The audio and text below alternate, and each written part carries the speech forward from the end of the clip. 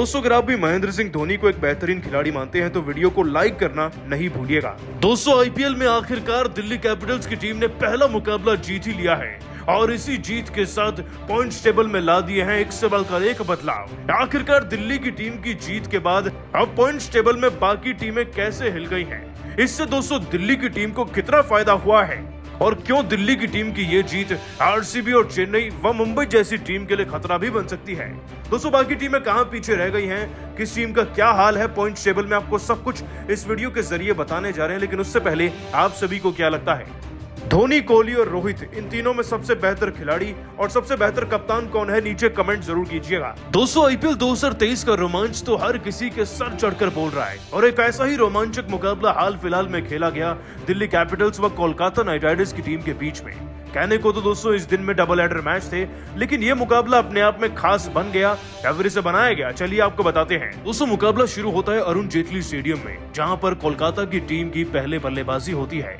कोलकाता की टीम की सलामी जोड़ी के बैट्समैन जैसन रॉय। ये दोस्तों शुरू से बैटिंग करते हैं और अंत तक मैदान पर टिके रहते हैं। ये उनतालीस गेंदों में तिरतालीस रन लगाते हैं, दोस्तों पाँच चौके जड़कर। लेकिन मैदान में बाकी खिलाड़ियों को जो करना था, वो तो वो कर ही नहीं पाए। लिटिन दास चार रन पर आउट हुए। वेंकटेश अय्यर शून्य पर आउट हुए। नीतीश राणा चार रन बना पाए, मनदीप सिंह बारह रन। तो रिंकू सिंह भी दोस्तों छह से आगे नहीं बढ़ पाए। अब ये सब आंकड़े सुनकर आप अंदाज़ा लगा ही सकते हैं कि कोलकाता की टीम का हाल क्या था इस मुकाबले में। निन्यानवे पर आते आते दोस्तों इस टीम के लगभग पूरे नौ विकेट गिर चुके थे। वो तो रसल ने सहारा लगाया। इकतीस गेंद में अड़तीस रन चढ़े और चार छक्के भी लगाए, जिसके चलते इस टीम का स्कोर 127 तक पहुँच गया। 128 रन दोस्तों दिल्ली को अपने घर में जीतने के लिए चाहिए थे। लग रहा था कि दिल्ली की टीम की जीत तो कंफर्म है, लेकिन दोस्तों मुकाबले को कुछ और ही मंजूर था। तो दिल्ली की टीम की शुरुआत भी कोलकाता से कुछ खास अलग नहीं थी। डेविड वार्नर अकेले लड़ते रहे अपनी टीम की तरफ़ से, एक छोर से वो रन बना रहे थे। दूसरे छोर से उनके खिलाड़ी विकेट गवा रहे थे। पृथ्वी शो तेरह रन, मिशेल मार्श दो रन।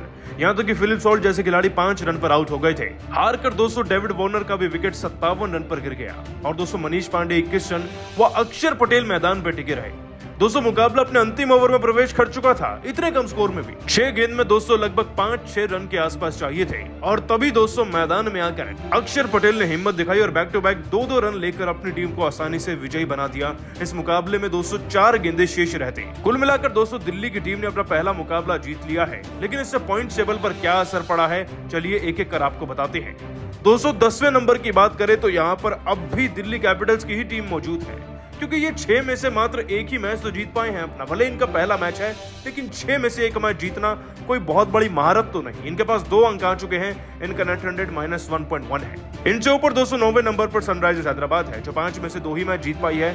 उनके पास चार अंक है और उनका नेट हंड्रेड भी माइनस ज़ीरो पॉइंट सेवन है। दोस्तों उनसे ऊपर आठवें नंबर पर कोलकाता नाइट राइडर्स की टीम आती है। दोस्तों ये टीम भी छह में से दो ही मैच जीत पाई है। इनके पास चार अंक है और प्लस ज़ीरो पॉइंट टू का नेट हंड्रेड। मतलब की हार कर ये बहुत ऊपर से नीचे गिरे हैं दोस्तों। लेकिन अब इनका नेट रन रेट इन्हें बचा रहा है। दो नंबर पर पंजाब है। ये छह में से तीन मैच जीत चुके हैं। इनके पास छह अंक हैं और माइनस ज़ीरो पॉइंट टू का नेट रन रेट इनसे ऊपर दो छठे नंबर पर आती है। मुंबई इंडियंस की टीम जो पाँच में से तीन मैच जीत चुकी है, इनके पास भी दो सौ छह अंक हैं और माइनस ज़ीरो पॉइंट वन का नेट रन रेट है। तो वही दोस्तों पाँचवें नंबर पर अब विराजमान है रॉयल चैलेंजर्स बैंगलोर आरसीबी की टीम ने धमाकेदार जीत दर्ज करी है आज और ये भी तीन मैचों में जीत, यानी कि छह अंकों के साथ साथ minus zero point zero six eight के नेट रन रेट के साथ आगे बढ़ रहे हैं। दोस्तों चौथे नंबर पर गुजरात टाइटंस है, जो पाँच में से तीन मैच जीत चुकी है। इस टीम के पास भी छह अंक हैं और प्लस 0.1 का शानदार नेट रेट भी है। तो वही तीसरे नंबर पर चेन्नई की टीम है। दोस्तों चेन्नई की टीम ने भी तो पाँच में से अपने तीन मैच जीते हैं। इन्होंने भी छह अंक कमा रखे हैं और प्लस ज़ीरो का एक शानदार नेट रेट मेंटेन कर रखा है। तो वहीं दूसरे नंबर पर आती है लखनऊ सुपर जॉइंट्स की टीम, जो छह में से चार मैच जीतकर आठ अंकों के साथ दूसरे नंबर पर है plus zero point seven hundred के साथ। और नंबर एक पर विराजमान है राजस्थान रॉयल्स जो छह में से चार मैच जीत चुके हैं। इनके पास भी आठ अंक हैं और इनका नेट हंड्रेड सबसे ज़्यादा प्लस वन पॉइंट ज़ीरो का है। कुल मिलाकर दोस्तों, इनकी हार और जीत से बहुत ज़्यादा डिफरेंस तो नहीं आया। लेकिन हाँ चेन्नई, आरसीबी और मुंबई थोड़ा ऊपर ज़रूर पहुँच गए हैं। परंतु दोस्तों, आप सभी को क्या लगता है? अगर फाइनल चेन्नई का किसी टीम के साथ हुआ तो कौन सी टीम जीतेगी? राजस्थान, बेंगलोर, मुंबई या फिर चेन्नई? नीचे कमेंट करके उस टीम का नाम ज़रूर बताइएगा और अभी सब्सक्राइब कीजिए हमारे यूट्यूब चैनल को। धन्यवाद।